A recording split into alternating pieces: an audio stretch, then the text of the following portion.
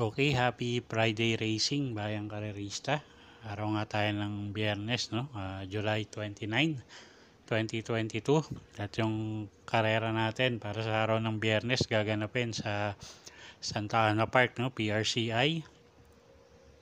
At as usual, no? Yung mga kabayong Santa Ana, sila-sila ulit yung tatakbo. At ah, meron nga silang hinandang pitong karera para sa araw ng biyernes at ang post time ng ah, race 1. ah, 5.30 ng hapon. No? Okay, so simulan na natin mga giya. Ah, race 1 tayo, start ng winner take all.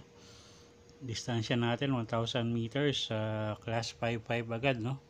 Ah, lowest group agad. So, First choice natin dito, numero 6, sa El Leader Maximo. Sasakay niya ni uh, E.G.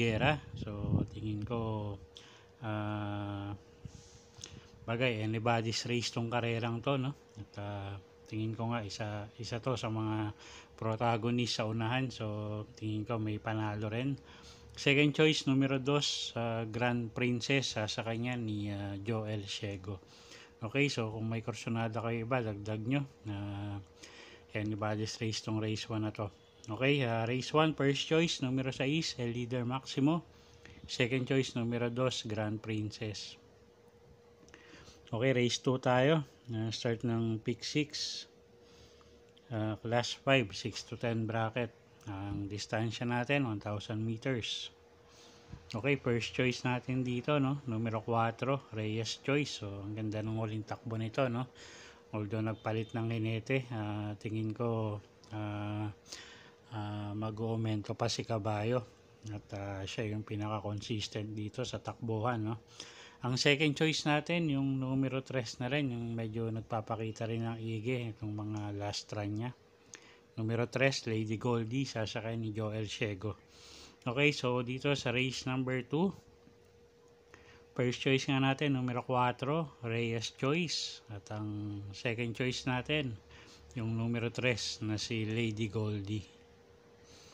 Okay, next race tayo, race number 3. Na start ng pick 5 from races 3 to 7. Uh, class 5, 11 to 15 bracket split, no?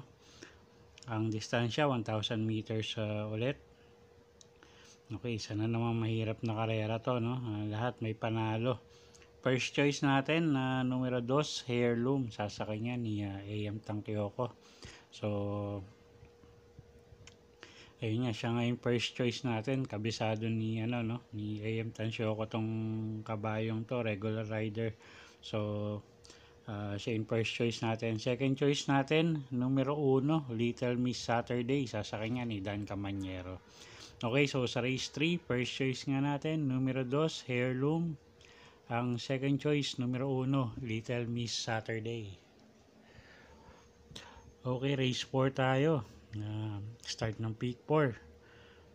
At uh, distansya natin dito, 1,000 meters, no? So, class 5, 6 to 10 bracket split ulit. Okay, uh, race uh, number 4 nga, first choice natin dito, no? numero 2, Chase the Gold.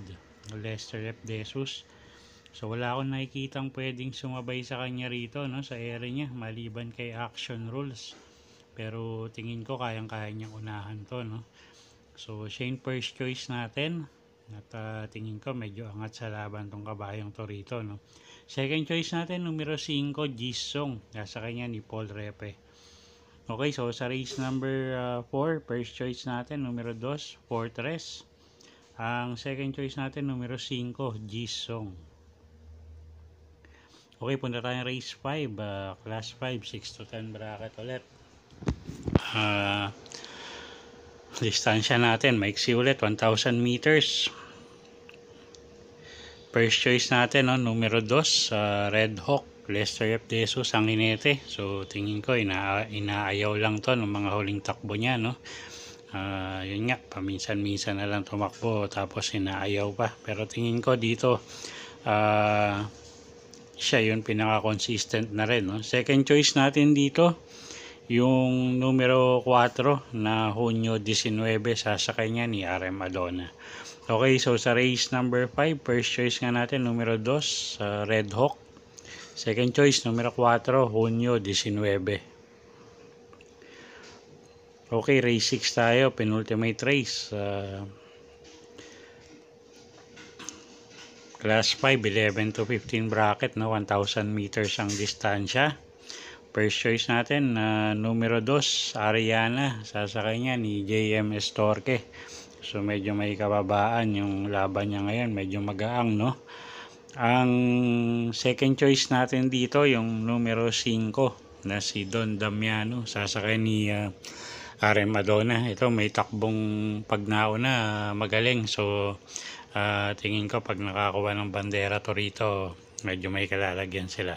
Okay, so sa race 6, first choice nga natin, numero 2, Ariana.